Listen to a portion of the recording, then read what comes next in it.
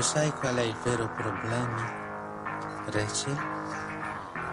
Quale? Che passiamo senza neanche farci caso dall'età in cui si dice un giorno farò così, all'età, all'età in cui si dice è andata così.